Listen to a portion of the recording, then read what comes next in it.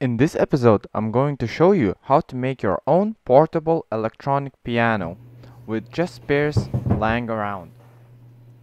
This is a preview of it.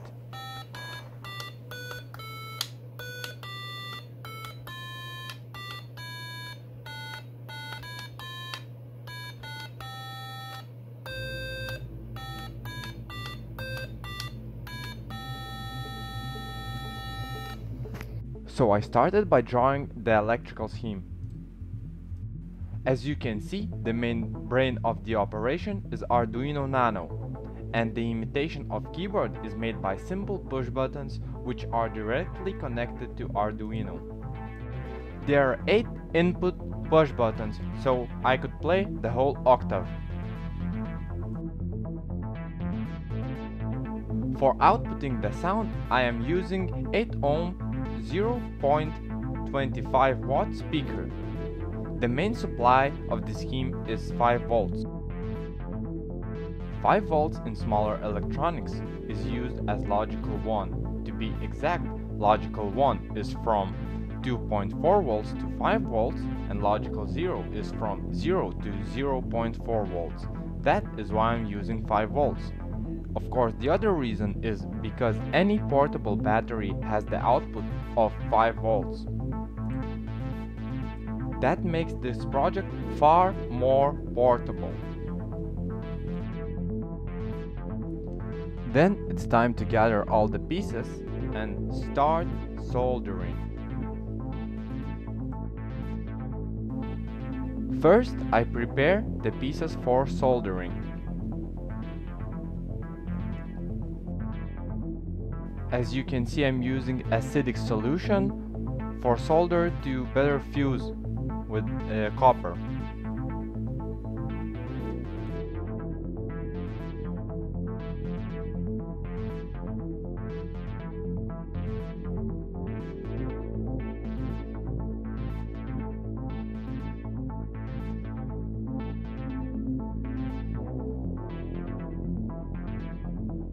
The soldering part is not as interesting as you might think.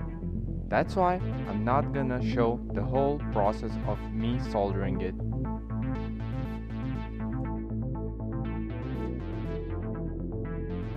But here you can see the neatly soldered product.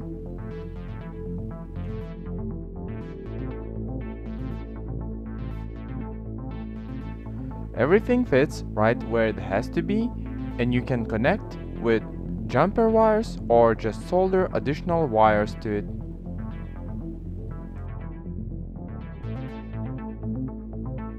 Here I'll be using Arduino IDE for programming. It has a C and C++ fusion plus Arduino terminology. So let's begin with the coding part. Here I have 8 keys and one output for for speaker.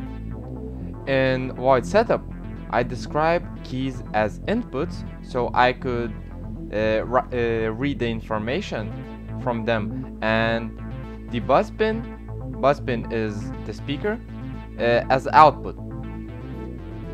In void loop, I have to read every key at, uh, at all the time. I read those keys and uh, if the key value is high so here the key uh, it reads the digital read uh, uh the logical one is 5 volts and logic 0 is 0 volts. So at 5 volts it's high and if it read high I can see it outputs the expected uh, sound uh, here is a full gamma. Not gamma full octave. Uh, from do to do. Do re mi fa sol la si do. Uh, so what I show if it's high the speaker pin should get this uh, this hertz 261 this is the do and it should play for 100 milliseconds. Then there's the hertz of re hertz of me and so forth and so on. So this is the whole code for this project. Here you have inputs and outputs, the setup, the loop.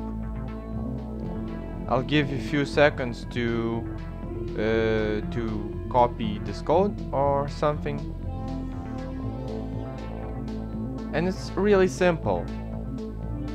But now it's time for testing. Let's see if it really works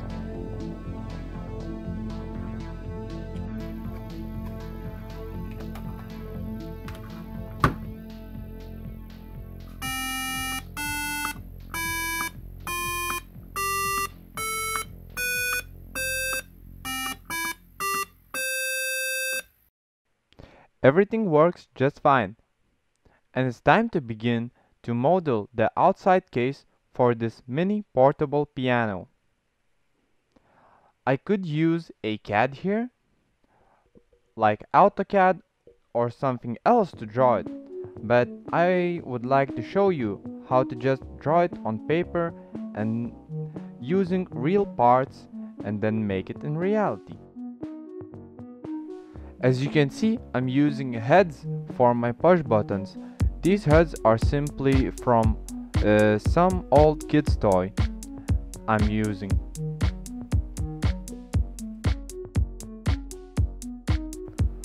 I measured the buttons and put it in a corresponding place.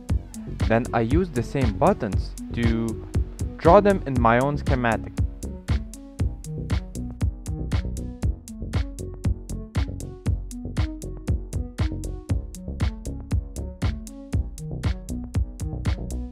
After that, I just cut everything out out of plywood.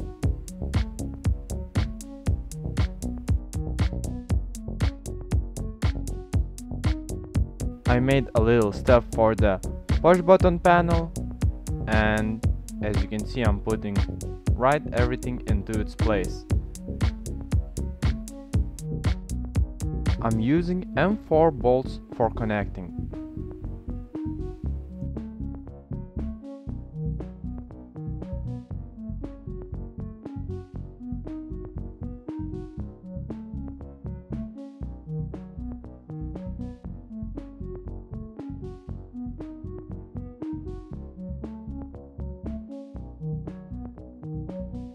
And in the end, this is how it looks.